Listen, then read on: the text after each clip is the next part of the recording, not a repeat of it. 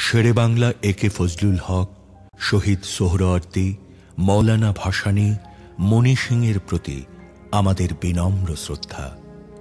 আমরা গভীর শ্রদ্ধা জানাই হাজার বছরের শ্রেষ্ঠ বাঙালি, জাতির পিতা বঙ্গবন্ধু শেখ মুজিবুর রহমানকে। আমরা শ্রদ্ধা জানাই প্রবাসী সরকারের প্রধানমন্ত্রী তাজউদ্দিন আহমদকে। আমরা শ্রদ্ধা জানাই একাত্তর পূর্ব ছাত্র নেতাদের, যারা বান্ন, বাষট্টি, ছেষট্টি উনসত্তরে গণ আন্দোলনের সৃষ্টি করে বাঙালি জাতির স্বাধীনতা ও মুক্তির সংগ্রামে বঙ্গবন্ধুর পাশে ছিলেন। আমাদের বিনম্র শ্রদ্ধা রইল তিরিশ লাখ শহীদ ও পাঁচ লক্ষ নির্যাতিত মা বোনের প্রতি। আমরা শ্রদ্ধা জানাই বীর মুক্তিযোদ্ধাদের যারা স্বাধীন বাংলাদেশ সৃষ্টি করতে শহীদ হয়েছেন। আমরা শ্রদ্ধা জানাই লক্ষ লক্ষ মুক্তিযোদ্ধাকে যাদের বীরত্বের কারণে আমরা স্বাধীন বাংলাদেশ সৃষ্টি করতে পেরেছি।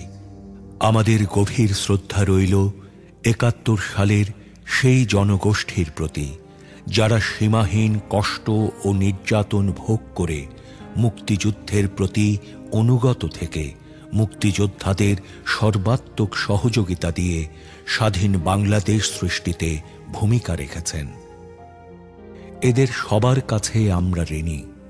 হাজার বছরের শ্রেষ্ঠ বাঙালি, জাতির জনক, বঙ্গবন্ধু শেখ মুজিবুর রহমানের কাঙ্ক্ষিত বাঙালি জাতীয়তাবাদী চেতনার বিকাশ, শোষিতের গণতন্ত্র, শোষণমুক্ত, বৈষম্যহীন সমাজ, মানবিক মূল্যবোধ, সামাজিক ন্যায় বিচার সামাজিক, অর্থনৈতিক, রাজনৈতিক সাম্য প্রতিষ্ঠা করে জনগণকে ক্ষমতার প্রকৃত মালিক করে আমরা এদের ঋণ শোধ করতে পারি। আসুন, আমরা আমাদের পূর্বসূরীদের ত্যাগকে স্মরণ করে তাদের নির্দেশিত পথে দেশকে এগিয়ে নিই। জয় বাংলা। আমার নাম হলো মোহাম্মদ শাহ আলম।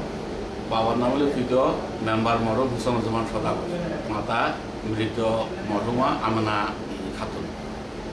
আমার গ্রাম হলো পশ্চিম খুইয়াছড়া ডাকঘর বর্তাকিয়া উপজেলা মিরেশ্বরাই চট্টগ্রাম। উনিশশো একাত্তর সালে আমি তখন নবম শ্রেণির ছাত্র মিরেশ্বরাই পাইলট হাই স্কুলে।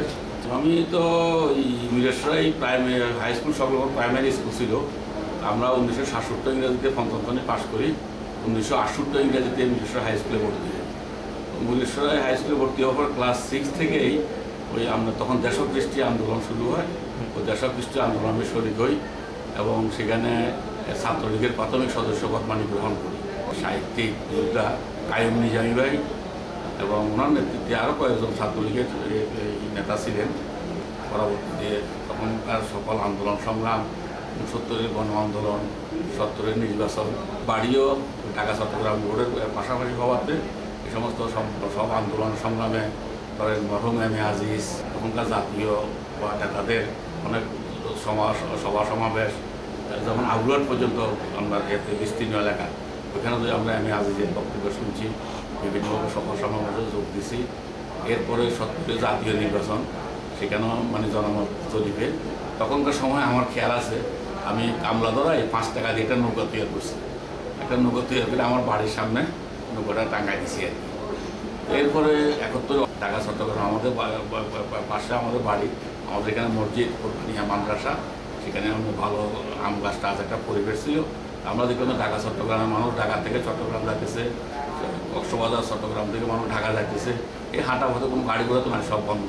মানুষ টায়ার্ড হয়ে যেতেছে তখন আমরা প্রথম থেকে পানি খাওয়া শুরু করলাম, সিন্নি ফাঁকে খাওয়া শুরু করলাম। এরপর আমাদের বাড়িতে তখন কাছারি ছিল।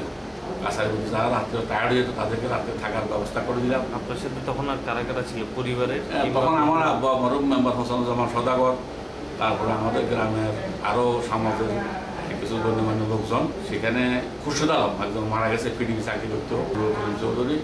আমরা এইভাবে কয়েকজন ছিলাম। যুদ্ধ লাগিয়ে গেল। তো দুর্ভাগ্য আমাদের গ্রামটা পাড়াটা একটু আইসোলেটেড অন্যান্য গ্রাম থেকে। এইভাবে ইয়ে না পাওয়াতে সরাসরি মুক্তিযুদ্ধে অংশগ্রহণ করতে পারি নাই তো যেমন ধরেন স্বাধীন বাংলা বেতাকেন্দ্র থেকে প্রথম আমাদের একটা রেডিও ছিল, তখন রেডিও বড় টাপ ছিল আমাদের মসজিদের সামনে। স্বাধীন বাংলা বেতাকেন্দ্র থেকে আমরা ছাব্বিশে মার্চ, আনুমানিক দুপুর এগারোটা থেকে একটার মধ্যে এম এ হান্নান যখন বক্তব্য রাখল স্বাধীন বাংলা কথা এটা আমি আমার নিজের কারণে শুনছি আর কি। জিয়া রহমানটা আমি শুনি নাই, পরবর্তী জিয়া রহমানটা দিছে, ওটা আমরা শুনতে পারিনি আমাদের পাড়াটা একবার রোডের সাথে তো মুক্তিযোদ্ধারা সরাসরি আমাদের গ্রামে প্রবেশ করতে করতো। আমরা মোটামুটি এখানে একটু মোটিভেশন করি মানুষের স্বাধীনতা সপক্ষে থাকার জন্য মুক্তিযোদ্ধা আসলে আশ্রয় দেওয়ার জন্য মানে জনমত গঠন করি।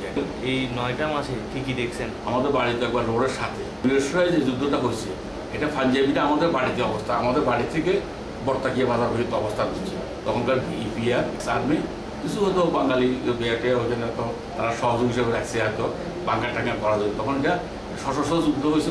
ওই যে ফেনাফুনি আমাদের বাড়ি এখন ইসমাইল গার্ফের ওখানে একটা শিকারি বাড়ি আছে। ওই শিকারি বাড়ি লই এখানে বাঙ্কার লই এখানে মুক্তিযোদ্ধারা ছিল খুব একবার খুব শক্তিশালী যুদ্ধ হয়েছে। তো সেখানে বেশ কিছু পাঞ্জাবি মারা গেছে গাড়িটারি ক্ষতি হয়েছে। এরপরে ওনার তো পিছু উঠছে পিছু উঠে আমাদের বাড়ি একেবারে জ্বালায় পোড়ায়। একবার তস নস করে দিচ্ছে আমাদের। আপনারা কোথায় ছিলেন আমরা তখন ওই চলে গেছিলাম মিঠানা আমার এক বোনের বাড়িতে। আমাদের এখান থেকে প্রায় পাঁচ সাত আট কিলোমিটার ভিতরে বাড়ি আছে। আমরা নয় মাস যুদ্ধ করার সময় ওইখানে থাকতাম। আমরা এখানে থাকতাম মাঝে মধ্যে আসতাম আমাদের বাড়িতে না আমাদের পিসের বাড়িতে। ওইখানে ওইখানে কি কি দেখলেন? এখন তো মারছে আর বৃহস্পতি বাজার তখন হাট হাট মিলছে আর কি। বৃহস্পতি তখন বিকেলে হাট মিলতো। এই হাটের মধ্যে তখনকার পাকিস্তানি জঙ্গি বিমান। সরাসরি আমরা ফায়ার করছি এখানে। ফায়ার করে এখানে বেশ কিছু লোক মারা গেছে।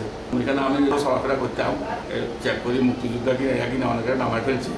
নামাই ফেলে এখানে আমাদের এখানে যে বৌদ্ধভূমি আছে সেখানে এখানে অনেকে মারি ফেলছে। এরপরে ছাড়ি দিচ্ছে পাঞ্জাবিরও বেশ কিছু লোক। বিভিন্ন মারছে। রাজাকারা মারিতে বাড়িতে গরু, ছাগল নিয়ে গেছে। কোথাও কোথাও মা বোন বিচিত করছে। টাকা পয়সা লুটপাট করছে। ওখানে আপনার ওই রাজাকাররা, মুক্তিযোদ্ধারা আপনার সেখানে দু তিনবারে যুদ্ধ হয়েছে। ওইখানে মিঠানাতে এই সম্ভ্রান্ত বাড়ি কাজী বাড়ি ওই কাজী বাড়ির মজগুলো কাজী সেই রাজাকার ছিল। মানে মুক্তিযোদ্ধারা ওখানে বাড়ি ফেলছে আর ওটা দেখলাম আর পাঞ্জাবি থেকে প্রতিরোধ করতেছে, এগুলো দেখলাম। এই আর কি। তারপর তো দেশ স্বাধীন হলো। আমরা চলে আসলাম। তখন ভারতীয় সৈন্যটন্য আসলো। আমাদের আঠারো ডিসেম্বর হানাদার মুক্তি দিবস, আমরা মোশারফ সাহেবের নেতৃত্বে যুদ্ধরা আসতেছে। এখানে মুক্তিযুদ্ধ সহযোগী হিসাবে এইসব কাজকর্ম করছি। এরপরে তো দেশ স্বাধীনগুলো লেখাপড়া শুরু করলাম। লেখাপড়া শুরু করার পরে তদানীত পূর্ব পাকিস্তান ছাত্রলীগ, পূর্ব পাকিস্তান ছাত্রলীগের সভাপতি ছিল, মুক্তিযুদ্ধের হাইকমান্ডার রহিদুল সব আর সেক্রেটারি ছিল যে মহিউদ্দিন রাশেদ। মুক্তিযুদ্ধে বাংলাদেশ ছাত্রলীগের বা তদানীত পূর্ব পাকিস্তান ছাত্রলীগের দুজন লোক শহীদ হয়েছে একজন সহসভাপতি শিয়ার মোস্তফা আরও একজন আমাদের শিয়ার মোস্তফা। ডিসেম্বর স্বাধীন হলে তো জানুয়ারির দিকেই বলে সম্ভবত আমাদের মিরেশ্বর হাই স্কুলের ছাত্রলীগের তখন কমিটি করা হয় বাংলাদেশ ছাত্রলীগের সেখানে আমাদের মলিয়াসের মুক্তিযোদ্ধা মাহফুজ ভাই, উনি পরবর্তী সায়েন্স লাইব্রেরি চাকরি করতেন। উনি সভাপতি নির্বাচিত হইল আমি সাধারণ সম্পাদক নির্বাচিত হইলাম। এরপরে এবং আশাবন সাধারণ সিরাজ নেতৃত্বে ছাত্রলীগ, বৈজ্ঞানিক সমাজতন্ত্রের সাথে আমরা যুক্ত হয়ে যাই। উনিশশো বাহাত্তর ইংরেজির একত্রিশে অক্টোবর জাসদ সৃষ্টি হইল, জাসদ রাজনীতিতে যোগদান করি।